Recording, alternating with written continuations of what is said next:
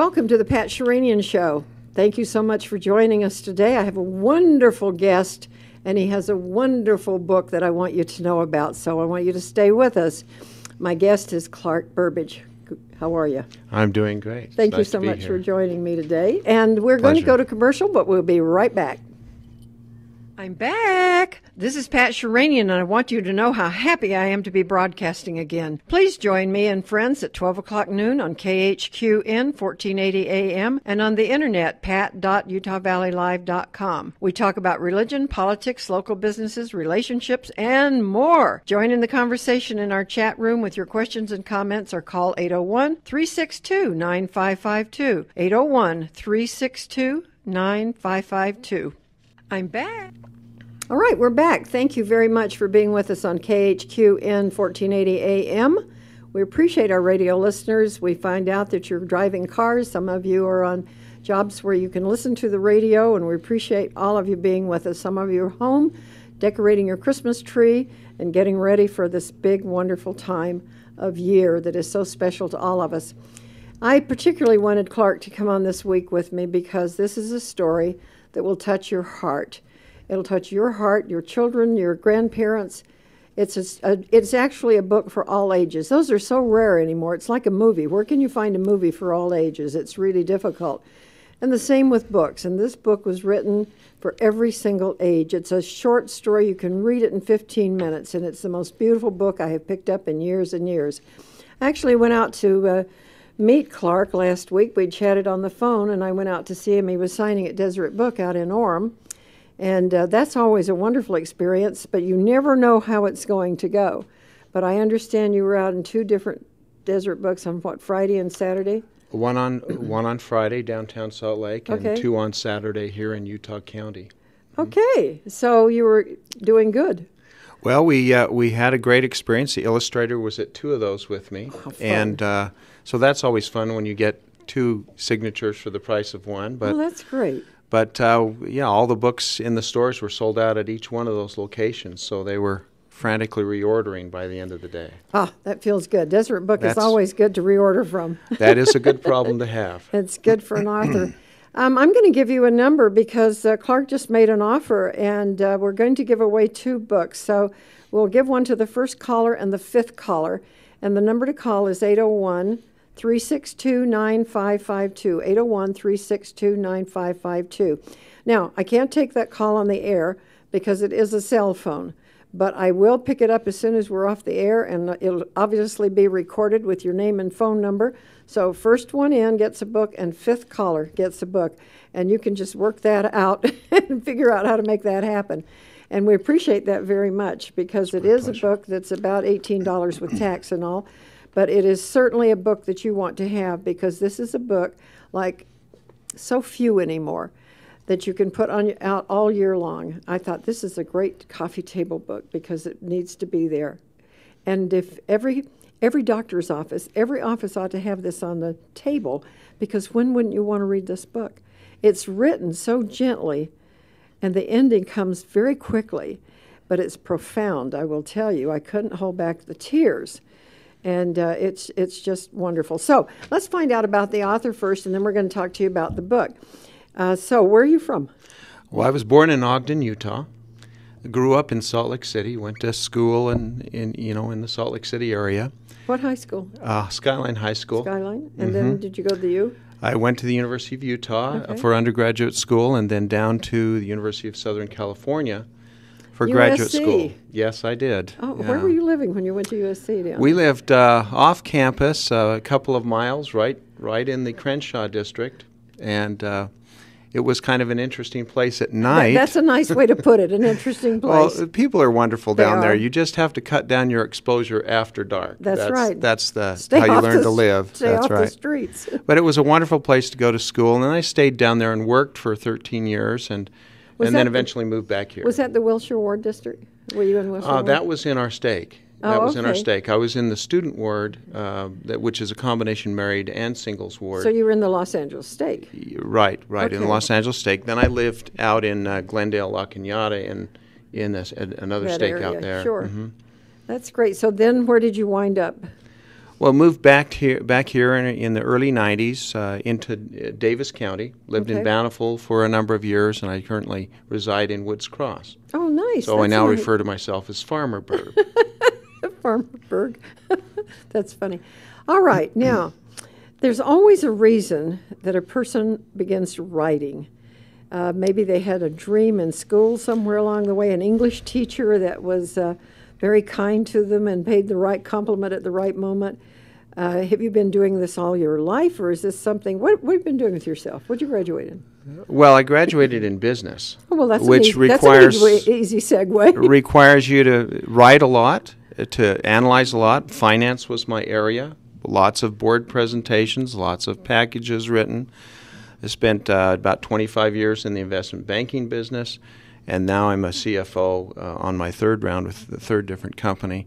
But the, there are 2 Are things I interested in your third different company? Uh, I work for iTalk, which is in uh, Lehi. Oh, okay. Yeah, we, we do Wait a minute. You're driving from Woods Cross to Lehi? uh, opposite way of traffic, but it's not too bad. When you when you've d- lived in LA, that's just a Well, I started throw. to say when I moved up here, everybody said, "Well, it's way up in Lehi from Provo." I thought, Yeah. "Are you kidding me? I've been driving from Westwood Beverly Hills down to LA for years and years, and not an easy trip." But being a finance guy seems very different than writing, but it does teach you how to be meticulous, uh, to be careful, to do whatever you do with a high degree of quality because you don't want to make mistakes.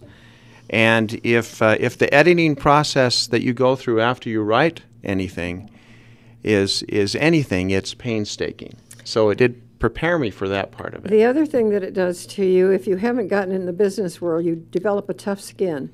I have learned this from having authors on the air with me and knowing them personally.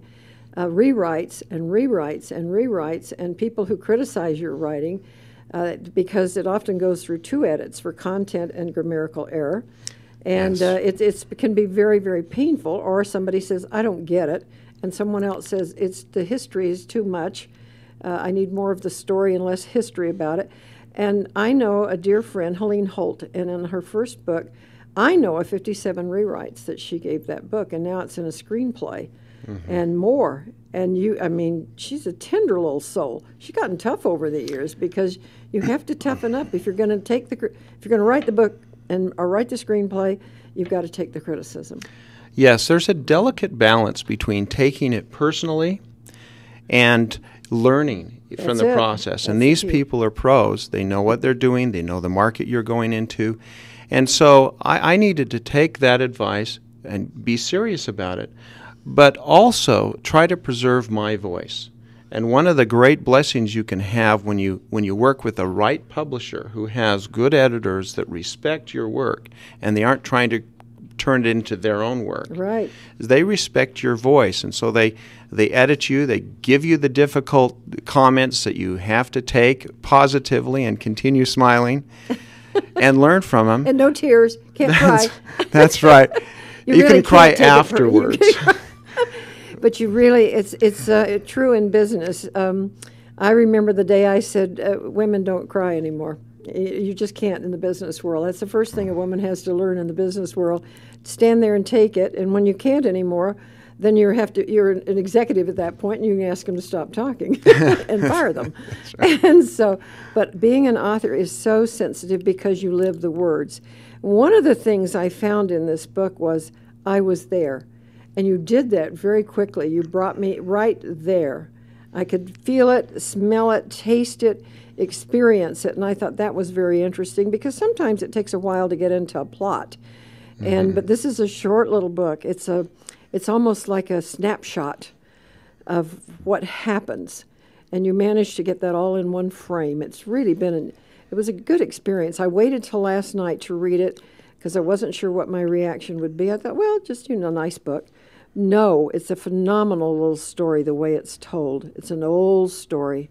We read it in the scriptures every year, if not more. And uh, you've managed to take it and turn it into an absolute jewel. In fact, the name of the book is A Piece of Silver.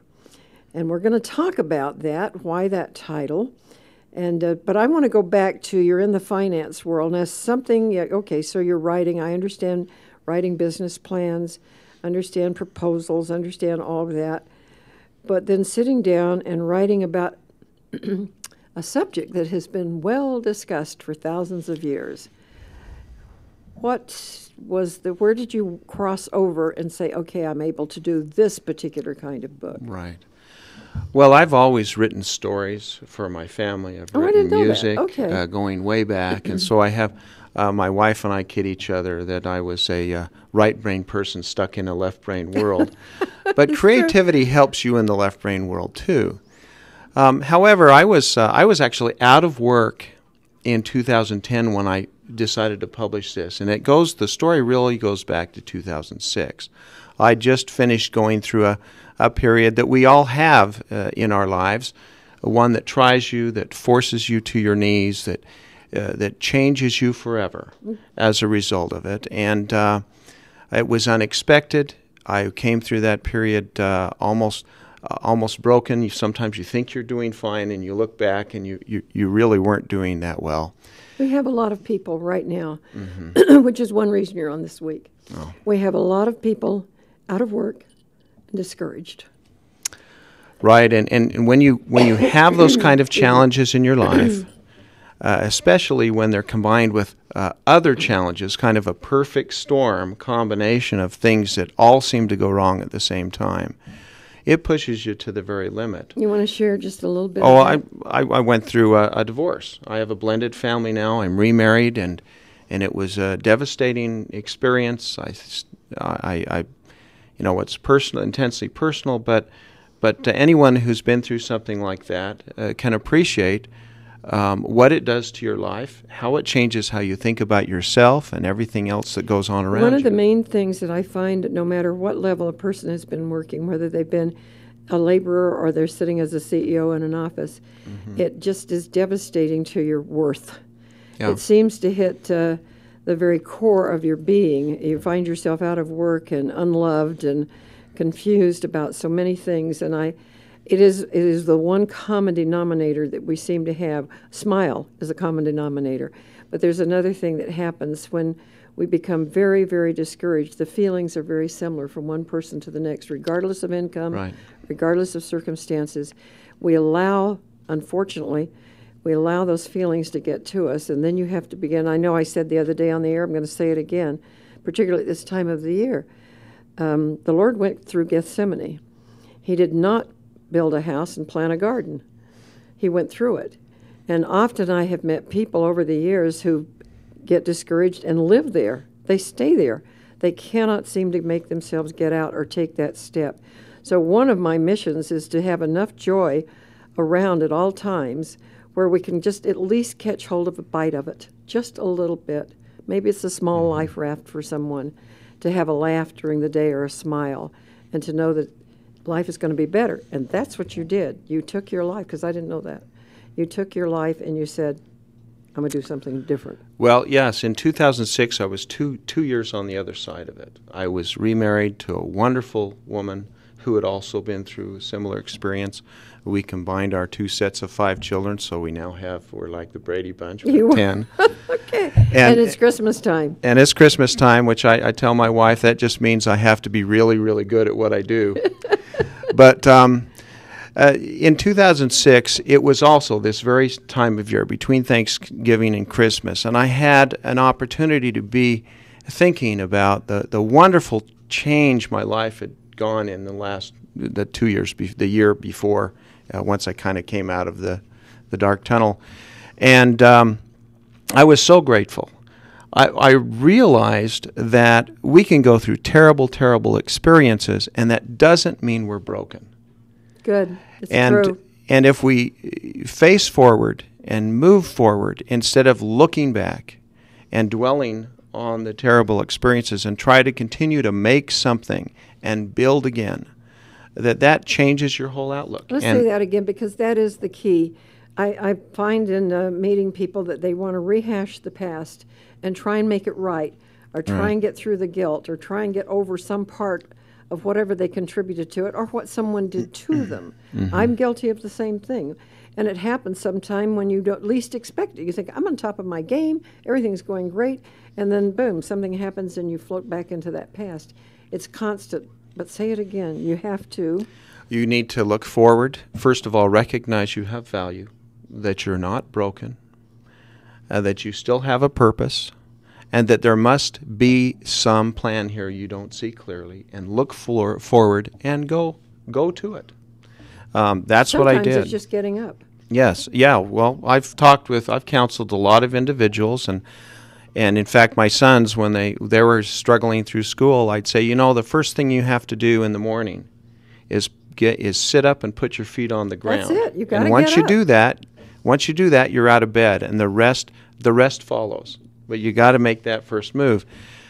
Anyway, in, in 2006, I sat down at this very time of year, feeling very grateful, uh, and uh, uh, and this story came to me all at once one evening. It just rushed in. Uh, I wrote it down in about an hour and a half, and of course, as a as a as an author, forever, every time I read it, you're constantly editing. And uh, then we sent it out as a Christmas card to some of our close friends and family members. I've done readings over the last five years with, with no pictures, of course, no art, but the story is touching. And then uh, finally in 2010, I was in between jobs again. That's what we call it nowadays. We're not out of work, we're in between right, jobs. In between jobs. And uh, I had some time. And I decided, well, I'm, I'm networking, I'm looking for work. Um, why don't I put a couple of these stories down and see what happens? The, the publishing industry is a tough one, but it's no tougher than what I've experienced. And so I thought, well, I know how to network, I know how to start businesses. This is like starting your own business and networking. I'll just apply those principles. And you know what? I found out that authors are a wonderful group of people. They are. They'll reach out, they'll respond to you, they'll give you their advice, um, and they'll give you guidance and suggestions. And, and I thrive on that. So one thing led to another, and, and the book you see before you is my second book, actually. And, and, uh, and this one has uh, turned out to be uh, very gratifying, both for me personally and I, I think to many who read Oh, it. to many, but let's go back because you mentioned something I didn't know. So let's Okay. talk about your first book.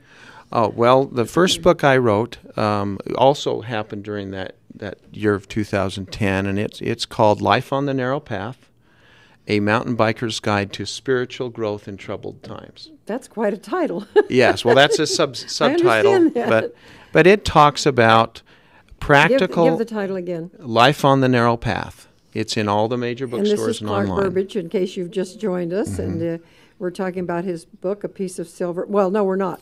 We've got his book, A Piece of Silver. We're going to talk about it, but he's now telling us. Give us the title again. Is it out? Is it out? Can we buy it? Oh yeah, you can buy it in who- all the can we- major bookstores Okay, and online. Online, okay. Uh, the, the book is simply. Give me the title again. Life on the Narrow Path, and we'll just let you. Life on the Narrow Path. We That's easy to remember that. remember. Okay. And uh, it's it's very straightforward. It takes each chapter in parable form and talks about a principle of outdoor activities. In this case, primarily mountain biking, but swimming and scuba diving and other things as well. Things I know well over many years. It talks about a specific principle, and then the second half of that chapter relates it in a very practical way to uh, to us and how we can maintain our spiritual momentum and growth when we face difficult times and prepare for that. And then the la- there are some chapters in there for those who are in a position to be guides to those who are struggling Oh, as well. So it looks at it from like a mentor, like a mentor. Mm-hmm. Okay. Right. So it's really written for 20, 30, 40 year olds who are going through some of those challenges we all face in life for the first time marriage, family, struggles. Are those some of your chapters? And just name some of the chapters. Um, the first chapter, for example, is called Dwelling on Obstacles. Anybody who rides a mountain bike knows that if you focus on a rock in the middle of the path and you dwell on that, you're going to be drawn right into Right it and hit it. it. The practical application there is, is are lessons on how to keep a positive attitude and not let negativity take over. If All you dwell on mention a couple of things. This is really good for today. I didn't Oh, okay. plan on doing right. this, but we're here, so let's do it. all right. So a couple of things. Uh, a couple of things about Positive attitude. How to Oh. keep a positive attitude. Okay. Well, I think we just talked about some, Some, of those. Some of those things. You face your you face your challenges straight on. You recognize that there's hope, uh, that you are not a victim, that you have control over your life. One of the challenges that we face when we when we are hit by uh, really uh, devastating circumstances or even a, a, series of minor ones that build up is we start feeling like it's not our responsibility, we're helpless. When we start feeling helpless, is, is, all hope goes out the door. We gain a, a victim mentality. Right. We, but, but the pain that comes with accepting our responsibility for that is also the empowerment that allows us to overcome that helpless feeling take control of our lives and do something about it. Good stuff. Yeah. Otherwise, we end up, as I say in the book, um, helplessly wandering around waiting for the next meteor to hit us. You know, and, and that's, that's not life. Life is us taking charge and doing something, not standing by waiting for the next calamity. Well, the other thing I learned in there that um, there's a point where we, for me, I had to learn to stop trying to fix everybody's life. Oh yes. I, read, I needed to concentrate on my mm-hmm. own and I was a fix it person. That's what I do in business. I fix things, I get it right. I work at it until it's proper and done the way it should be and makes the amount of money and all those things. And somewhere I began trying to fix people, and I was just full of advice about fixing people. And I looked up one day and I realized no one changes until they really have this tremendous desire to get out of right. where they are, whatever level that's on. There are no changes until we begin to take personal action. And that starts in the government all the way down to young children until we make that decision. And you've nailed some of this stuff. Name of the book again Life on the Narrow Path. And the subtitle is A Mountain Biker's Guide to Spiritual Growth in Troubled Times. That's great. Yeah. Can I just ask how much um, sports have helped you get through this? Because I swim every morning. Oh, okay. And I, I was a professional swimmer in synchronized swimming many years ago and then I love to be in the water. Somehow, when I'm working out, no matter how mild it might be, because I work out in a therapy pool that's 91 degrees, you really can't swim in a pool that way, but we jump up and down and have a lot of fun.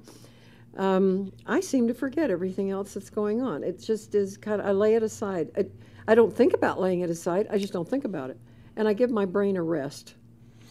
Well, I, I was uh, uh, um, swimmer and a water polo player in oh. college, so we have a common okay. experience there. Okay.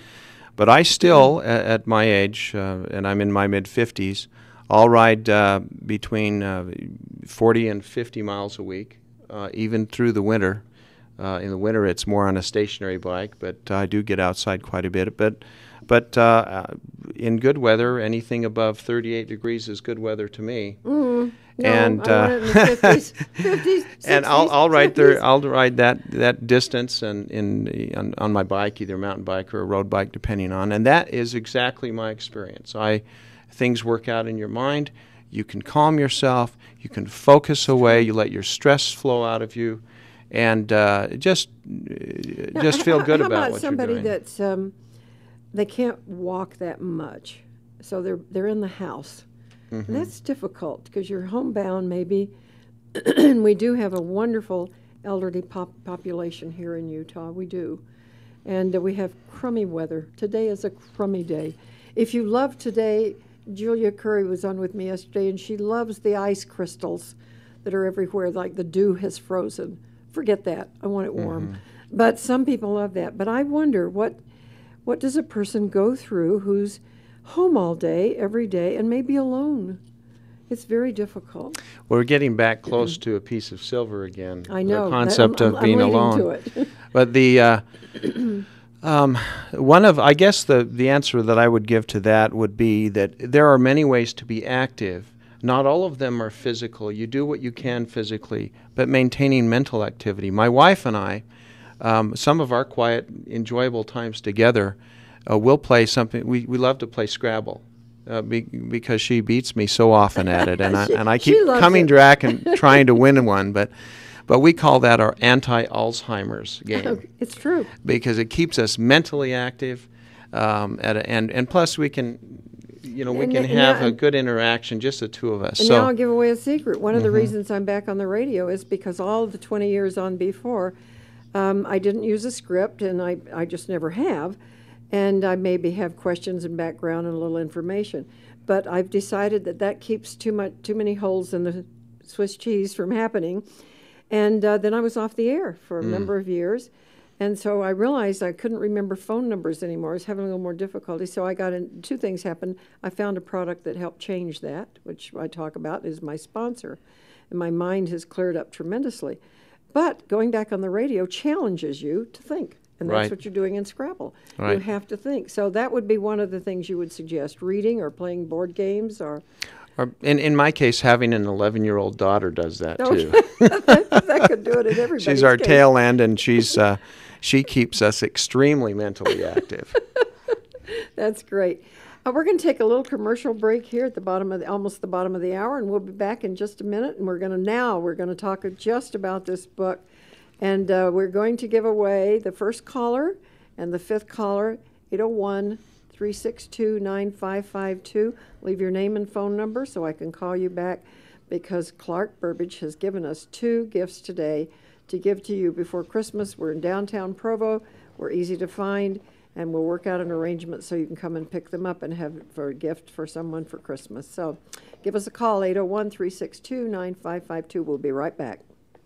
You don't have to travel far to look how the LDS Church carried out the Lord's mandate in taking the restored gospel to the entire world. Fernando and Queta Gomez have now opened in Provo an extension of a museum that was established in Mexico City 20 years ago with the objective of collecting, preserving, and exhibiting such information. Their inspiration comes from his Aunt Consuelo's legacy, which inspired them in securing such incredible Mormon history. The seeds planted by hundreds of missionaries from Zion since the 1800s are reflected in the exhibits along with testimonies of local Mexican saints. Newspapers that were published in Mexico during the 1800s give not only the history of the LDS Church, but detail its doctrine as well. The Museum of Mormon Mexican History opens Tuesday to Friday, 2 to 6, Saturday 10 to 6. Visit us at 1501 North Canyon Road in Provo. Admission is free. For group visits or information, call 801 830 1468. 830 1468.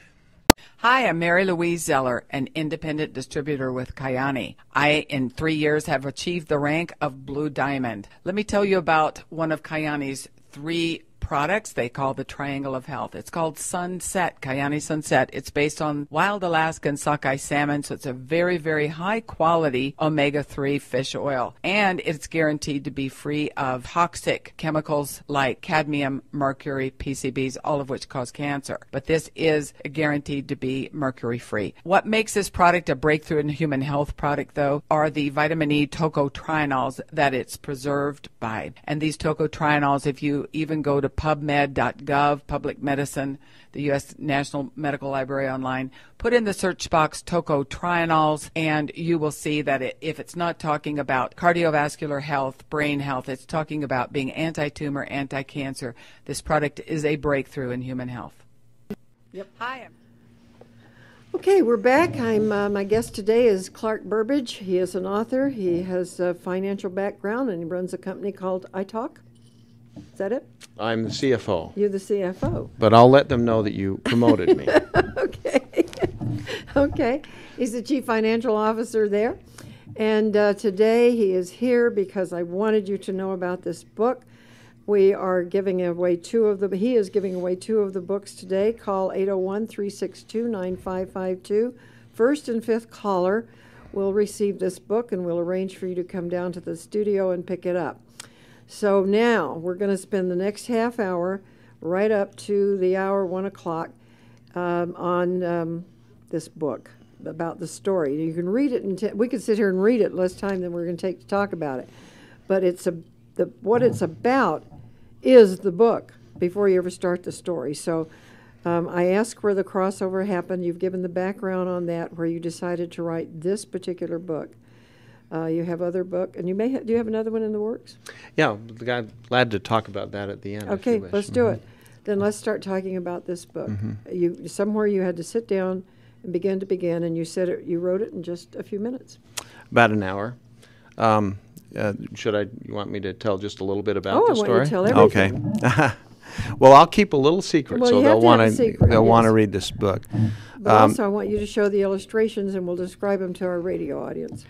The, uh, the book is about an 11 year old homeless orphan boy who lives in Bethlehem 2,000 years ago.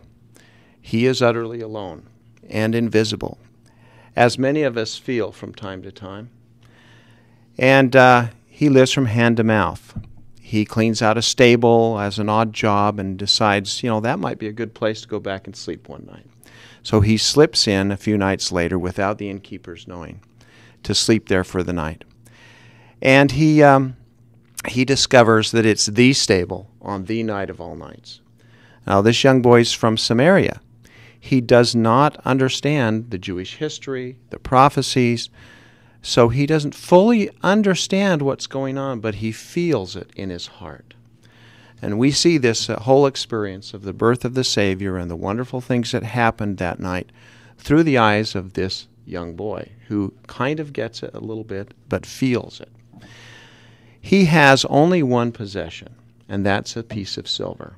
That's what ties the story together, beginning and end. It's a small silver ring that hangs around his neck on a piece of twine that his mother gave him as he was um, as she was dying on the road from Samaria. He gives that to the Savior, and uh, the rest of the night is told about in the book, the experience he has. He goes back, as we often do after a wonderful experience, to our difficult lives, same old problems, same old challenges, and grows to be a man. Later, as an adult, still living on the fringe of society, he meets the Savior again. And that in that meeting, he finally understands the significance of the first meeting, the importance of the Savior himself, and his own value. This is meant to be read together as, as families, parents and children, grandparents and grandchildren, husband and wives, so that you can have one of those rare, special spiritual moments together. I like to say, and I've seen this happen in my own family and in some of the test readings we've done, we spend all our lives trying to help our children understand how we feel about the Savior and what it meant to us when we came to know Him. And uh, this is a wonderful opportunity at the end of the book where you can turn to your child or your grandchild and you'll see it in their eyes, and all you'll need to say is, You see, that's how it feels. It's a wonderful book, a wonderful book. I appreciate um, your giant spirit and that uh, it, it comes through in the book. Um, I'm just going to ask a couple of questions. Sure. Um, how did you decide on an 11 year old Daniel to represent the main character? Is this from some something you drew on? So is it something about you? Well, I've raised six boys. oh, really? And okay. uh, it, that that point in time where uh, young young people are so inquisitive and curious, and yet they're nervous about interfering, we we catch. I was able to catch all of those moments with Daniel and it draws the young people into the story because they can relate to this this boy who who didn't know where his place was in life. He did he he felt alone. He felt uncared for. He didn't have for. a place. He didn't have a place. And so many teenagers and young people that I've worked with uh, throughout my life are struggling to find where they fit in. Daniel's the same. He doesn't know how he fits in. And so immediately he, uh, young people are able to relate to this, teenagers as well, because who who, who has more trouble than finding out how to fit in than teenagers? And then uh, later on in the story, as as Daniel meets the Savior again as an adult, I think this is when the parents unexpectedly find themselves being pulled into the book we all have gone through difficult times. We have tender memories that lie just below the surface yep. uh, that are a result of those many challenging experiences that have made us the wonderful people who we are in the long That's run. True. And as you read about Daniel and his final realization of the importance of his life, that it was not for nothing, that he mattered, that he has value to the Savior and that there is a place for him and that he's never been alone. It pulls those tender heartstrings on the parents. I had one one lady, if I may, Shit, who uh, who read, was reading this story to her child, eight year old daughter, and they were reading, uh, and, and she was doing the reading, the daughter was doing the experiencing. And she got to a point in the book where she was so tearful and so tender that she couldn't continue.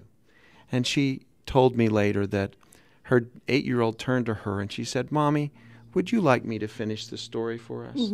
and she said yes. And, and so her eight year old finished reading the last few pages. And she said, You know, it was just a fabulous experience that, uh, that, that, that those things happen. You can't create them, they just happen. This book makes it happen, I will tell you, because I had the experience. And I want to go back to Daniel. I have a, some grandchildren, and um, I could see several of them in this character because he found himself cold and lonely and had bedded down for the night when he heard something. There's not an 11 year old in the world that wouldn't have gotten up from his bed of straw to see what was going on next to him in a stall. And uh, he heard the cries of a woman and then the cries of a babe. And that moment, something began to happen to him, and we feel it. I mean, I felt it, I'm sure others have. I felt it from all directions at that moment. And I thought, if there's a grandparent that cannot figure out what to do for Christmas, this book is it. And uh, what do you think? Did you write this for grandparents when you started, or because it, it's a perfect Christmas gift from a grandparent? Well, interestingly the, enough, that you would, and we haven't talked about this before, no. but uh, if you look at the dedication of the book, it is dedicated to my grandchildren. Open that up Um, because it's a beautiful illustration. of course, it's the first thing I saw, and the dedication reads It, like it says, "For all my grandchildren, Christopher Courtney, those are two that are born, and those other angels yet to grace our presence." Because I don't know uh, what the names will be; Right. they're not here yet, but I know they'll be coming at some point. But that this is written by a grandparent to his grandchildren, so it was a written with that in with mind. that in mind. it's a great story, but it's also, and this one I started out talking about you at the top, top of the hour, this is written for every age, and uh, you can read this in ten minutes. It's it's simply one of those books. Okay, so I finished it, wiped up the tears, and read it again, and it has that kind of impact on people. And then I began making a list of all the people that I felt should have the book. And so it's, um, I'm going to call myself on the phone in a few minutes. No, I'm just kidding. and win one of these books. So today, if you're the first or the fifth caller, and then if that doesn't happen for you today, then please find a bookstore. In uh, I know Deseret Book carries this book. They can you can find it online. On, is it in on Amazon? It's on Amazon. It's on in, in Barnes and Noble and Deseret Book. It's on their online sites as well. And if they don't have it, um, they have it in their warehouses, or they'll order it, and you can they can get it overnight or two nights. To you, so you Yeah. still get it before Christmas. It's been very popular, and it's sold out in a lot of places, but it's still very available online and by order. Uh, the two books today will be autographed by the author, Clark Burbidge. And um, I'm sorry that he told you his age because I was going to tell you that I knew his father at East High School. and so um, actually, I had, all, you know, I'm closer to his age, and his father was a lot old. No. So they're going to now figure out that I'm probably older than 52. so, but I did, and he was a great man. He was a great young man, his father was, and it's really fun to meet somebody who's has that same giant spirit that his dad had. And I understand your dad has passed away. He has, he has, and those are some of the experiences we have when when we need to uh, w- we need to face them and kind of keep a special place in our heart. Oh yeah, that won't ever be filled. And it's okay if you have that space in your heart that can't ever be filled quite the same way. But your heart can grow to let all the other wonderful people in too, without diminishing that space that you're holding. In my case, for my mom and dad who, who are your passed mom away gone now. too? She is, yeah. Mm-hmm. Well, this is a time of year that we certainly do a lot of remembering, and this is a great way to bring it all back and have that those wonderful feelings. And they're they're all filled with love. I think that's what I felt when I finished this was a great amount of love. And you talk about unconditional love. That that's kind of the mode in which you wrote this about unconditional love, like the Savior's love. Mm-hmm. There's no judgment there. so then, um, the book's available. We've talked about that. How about after Christmas? Would this be a book still to give away? Well, we're actually um, setting up the publisher. Uh, my publicity people are are going to a convention in uh, in January Oh, uh, because this is a great Easter book. oh, you're Uh, this right. does tie together the two iconic uh, moments in Yes, history the the birth and the crucifixion, the atonement. And because of that, it's a wonderful opportunity for those who would like to share it at that time of year as well. Great idea. That's Mm-hmm. a wonderful idea. So it's going to be a year-round book. Then it's going to stay on my coffee table. I'll tell you that. Um, now I want to talk about. I called them illustrations, but Mm-hmm. in talking about this book with you before we went on the air, really and truly, these are art prints. They're art paintings, and uh, I, I have someone coming on tomorrow or on uh, Thursday an artist that I just love her work, and it's the it's like the old masters, the subtle painting, and uh, she's got Joseph and Mary and the babe, and then a picture of Christ. And all right, these these have that feeling. It's like an old master painting. Um, so let's open it up because. Um, I under well, you, they've already seen them, right, Kelly? You've been showing some of the art prints on about the book. So let's describe them to our radio audience. Okay. First of all, her name. The the artist's name is Annie Henrie. She graduated from BYU in fine arts uh, just about a year ago. She's the daughter of a fabulous artist, Carrie Henrie, and so was trained all her life to uh, to become a great artist. She studied in Italy, um, and she studied the great classic masters of Europe. And when I got to the point of of needing to illustrate this story, I had gone through uh, dozens of artists, and I couldn't find the right one. Uh, there were lots of cartoonish or animated artists, and this is a real story that I wanted people to relate to in a real way, especially young people.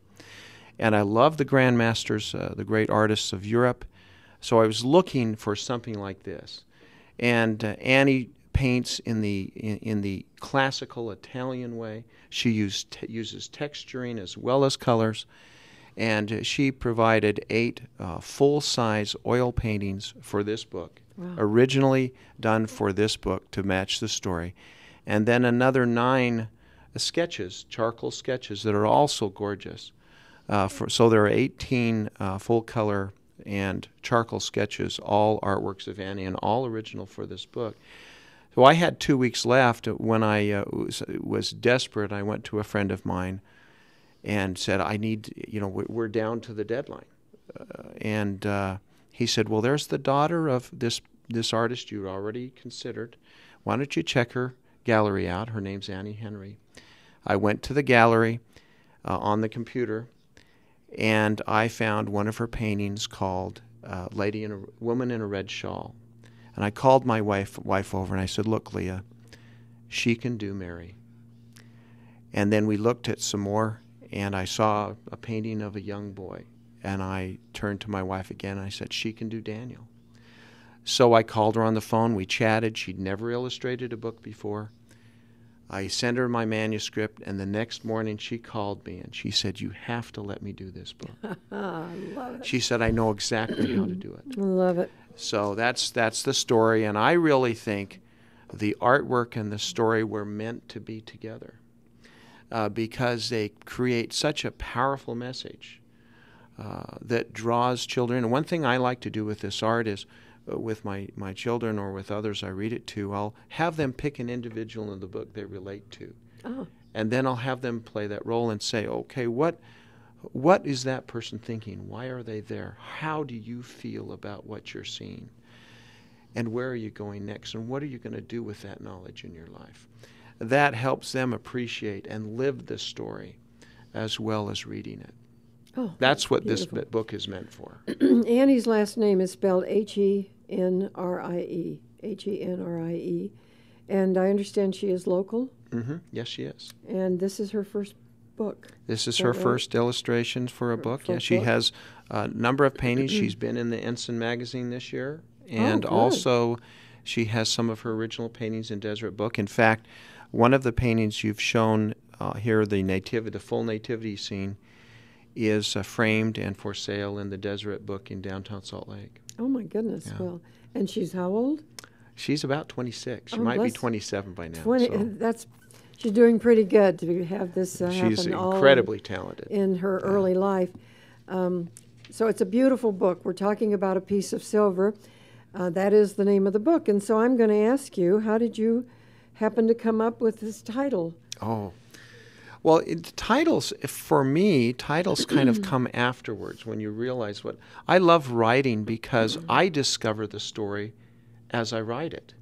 It's almost like it's almost like watching it happen in front of you and, and you're living the story. You're Daniel and oh what happens next and so on. Oh he, he's gonna give a gift. What's that gift? You know, and it's a wonderful experience for me to, to go through that process just like you do when you read the book. Right? And so uh, it seemed to me that this piece of silver was the, the, the key token in this book that tied Daniel's early life and the Savior's birth to that iconic event at the end uh, where the Savior is crucified. And the piece of silver plays a role in that at that point as, as well in a very tender way and ties the two moments uh, in, in both their lives together. So it was natural for that to become the title of the book, I think. Well, when I, of course, we think of the ring as eternal, no beginning and no end. so I particularly appreciated the symbolism there. And then the way you used it in the book is uh, really very tender. Um, the memories of his mother, this was the only thing he had from his childhood, was this that had been his mother's ring. And um, so it's, it's a lovely story and brings out all the goodness in each one of us when we're reading it. And you've just given me an idea of, um, I'm giving this to one of my teenage grandsons, and uh, he is an actor. He's done a lot of work at the SCERA Theater and at the Hale Theater, uh, and then some school productions. and I don't know that that's what he's going to do forever because he's, what, 14 now. But um, I think I'm going to have him read this and maybe buy some other copies and have take individual parts mm-hmm. to read this story because it has such a nice message and it's very, it comes together very quickly. But the power behind it is amazing. And I'm just going to say that. It's an amazing. Hmm. Oh, look at the pictures up. All right, leave that for a minute, Kelly. We're streaming the picture to our pat.utahvalleylive.com. If you're not on that and you've got your radio on and you'd like to see it, it's pat.utahvalleylive.com. We also archive all of our shows, and so when this is over, you'll be able to watch it. It'll be up for 20 years at least.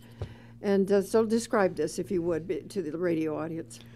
Well, the uh, the picture that's up right now is the uh, the picture that this is from Daniel's point of view after he's just come around the edge of the stall that he was staying in, and he sees Joseph and Mary holding the baby. He sees some visitors. He doesn't know who these visitors are, um, but we know that they're shepherds who have come in from the fields, and there are several on their knees, and some standing in the back, um, worshiping. And there, there's the lamb, and There's some horses and Yeah. some other, you know, some sheep and and uh, animals. Annie Annie loves to draw animals, so she'll sneak animals in. That's easy in a in an in a manger to justify that. so is. she did a wonderful job um, with the coloring. It's it's uh, I don't know how to describe it's muted. The, color. colors It's- are muted. It's, Yeah. They're not screaming at you. And there's so much gauche going on all the time in our Christmas season. Mm-hmm. Bright colors and lights. And uh, some are okay because we love light, but this is very muted. It's almost as if it was by moonlight. Right. The way she has painted it, the light would be by. She works in, in shades and Mm-hmm. lighting, and the, there are a lot of golds and browns and and those Earth kinds tones. Mm-hmm. of earth tones, as you might expect in those era. There weren't uh, they're bright colors. Uh, hay isn't a bright color; it's No. hay color, and uh, and the lighting is is very carefully done in each one of these uh, pictures. Now, this she has done very nicely because we see Mary and it looks like blue, kind of a blue dress and a, A shawl a Mm-hmm. with shawl a- over her head. And this is a great scene, an And- absolutely great scene. And this is when Daniel is, of course, finally um, had the courage to to intervene, and he's been called over by the first family I like to call him that, and and he's now helping hold uh, hold the child, Jesus, and just about ready to uh, give his gift to him. Let's share again where people can get this, if you would, Clark. I'm talking with Clark Burbidge today. He is the author of A Piece of Silver. He also has another book out, A Life on the Narrow Path. Life on the Narrow Path. Mm-hmm. And uh, both of these books can be purchased through uh, almost any bookstore and online. And uh, if they want to email you, is there an email address? Because I didn't see one on the book. Mm-hmm. It may be there. But uh, I find in our community that we do like to communicate. I remember years ago there was a book by, uh, oh, what's his name? Uh, two brothers. It was something about Charlie's Mountain. Oh, mm-hmm. years and years ago, and I, it was the first time I'd ever called an author. It was before we had email, and uh, I was so taken by the story, and uh, I wanted to call on it. It was oh, 30 years ago. Um, but people are going to want to get hold of you. So, is there an email address they can well, find you? You can go to my website, okay. which is www.apieceofsilver.com. So, just the title of the book. Uh, there's uh, se- there are several pages there. Uh, one of them has uh, the contact information on it. Okay. And you can email me that way. Okay, that would be good. Mm-hmm. So just look him up on his website. Right. And so it's a piece of silver.com. You can also order the book on the first page of that website. You just click order now, and it'll take you right to the publisher, and you can you can get it, is it uh, in a couple online of days. as it is at the bookstore, or a little bit different? Well, that comes that one puts you directly in touch with the publisher. Okay. If you were to order at a bookstore, of course the uh, you'd order through that bookstore Right. and they'd contact the publisher. Okay. Either way, you can get it's it about pretty the same quickly. thing. Mhm. Okay. Yeah. The same amount of money, you think? Um, yeah. About mhm. 16 It, it's it's sixteen ninety nine plus okay, with some tax. tax. And there'll be there'll be a little shipping depending on who Beautiful you order book. from. If you do, if you get this today or tomorrow, you should be able to get it by Saturday. But do it very quickly. Um, I do have a, one last question, and I think when we all read anything, we get a little something. I've started books I couldn't finish, and so I didn't get much out of that. Um, but I've also read books that I wanted to pick up and reread, and have done that because I got so much out of it. Uh, sometimes it was just one line, but it made such a difference to me personally. So, what would you like to have people get out of this book? And let's go by the ages. Well, I think that this book is written in layers, so Okay. there are messages for each age group. But I'll just I'll just give you three messages. Okay. and I think they'll appeal to each each age group in different ways. First of all, that you're never alone. That uh, your heavenly Father is always there, and He's mindful of you. Secondly, there is a place for you, no matter how hard it might be to find your place in life at various times. There is ultimately a place for you. And thirdly, there is someone that knows your name. Uh, you are not invisible. Um, you are an important part person, and you matter. So uh, I guess those are the primary messages that I tried to convey here. Right at the end of the book, that was made so clear. We know it intellectually, we think about it.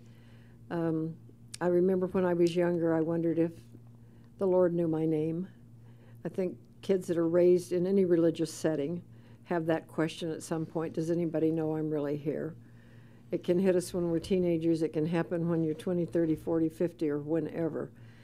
And uh, right at the end of the book, that became so clear that it was almost a I almost had that reaction, you know, a aha kind of thing, and it was so real to me. That's where the tears came. Oh. so, um, you mentioned one lady that had had, uh, and thank you for sharing uh, your thoughts about what people should get out of this because they're wonderful. And I noticed that you signed the book you signed for me with one of those sentiments, and I appreciate that. Um, you had mentioned one story that a woman had shared with you. Are there others that come to mind? Their reaction overall for the about the book. Uh, we're curious about you as a new author, and uh, curious about your reaction to the public. Well, I, I love hearing those stories. I've, uh, this is now such a part of my life that I don't have the same perspective as others, and I love hearing how others uh, feel about the book. I have a very long time friend who's a grizzled veteran lawyer.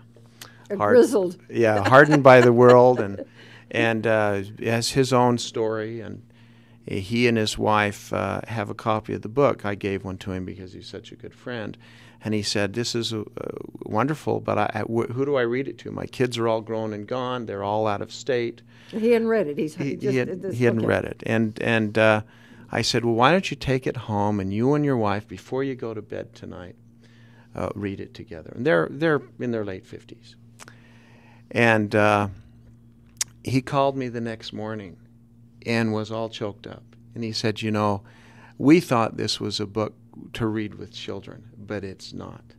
It's a book for anybody to read with anybody else."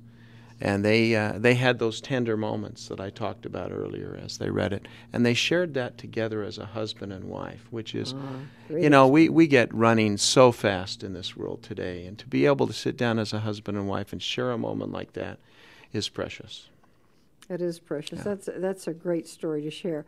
Now go to the other extreme. Uh, your children have read it, Yes, and tell me what happened there. Because kids can be very blasé about their parents.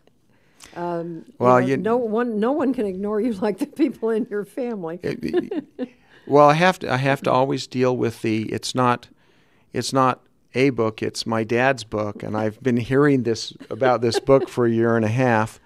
But uh, I, I guess the best test was my 11 year old daughter, and and she uh, she read Your she- fireball. yeah, yeah, our social our social calendar maker, and she enjoyed it very much. She'd heard the story a hundred times. I've told it to her, uh, but she enjoyed the pictures and the combination, and, and relived the whole thing again uh, when she uh, when she read through it.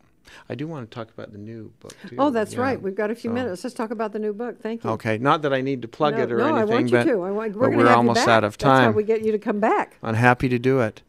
Uh, the the new book is just gone into editing, final editing. So I've just finished with my drill sergeant, and uh, and and the, they don't do anything to you where the bruises show. That's right.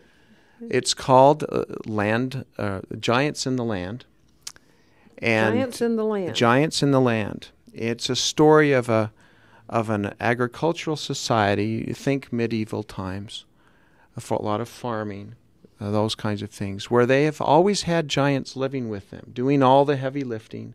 They work hard. These the the regular sized people work hard too, but whenever they have something that's too big or a threat that's too great, they have um, giants to take care of it for them. Well, one day they wake up and the giants have disappeared. So the challenge is how do we carry on? What do we do?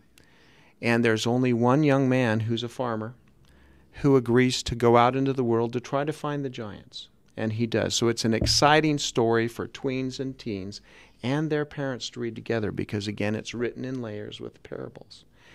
And what it teaches us to do without giving away the thrills and spills in the ending. is We all have people in our lives who have been our mentors, our giants, who are those people who we've looked up to and depended on. What eventually they all pass, It's true. or they go somewhere, and uh, and we have to learn how to be giants in our, ourselves. And what the Thomas, the young man of the story, discovers is being a giant doesn't have anything to do with how big you are. It has to do with the size of your heart. And he carries that message back, and and and uh, that's It's that's great kind of the story. Yeah, It's a and great story. it's I've, having lost both my parents, I know how that feels and how to overcome it. And it's going to be ready in the spring? June, June. It'll Mm-hmm. be ready. So we know we're going to get you back at least by June. happy to do it. All right. Thank you. You've been listening to uh, Clark Burbidge and uh, Pat Sheranian. Happy to have you with us today. For, and thank you for joining us. And we'll be back again. I'll be back again tomorrow. And the book we've been talking about today is A Piece of Silver by Clark Burbidge. And we appreciate him so much. And thank you. And I wish you a happy day and safe day. And we'll talk to you later. Bye bye.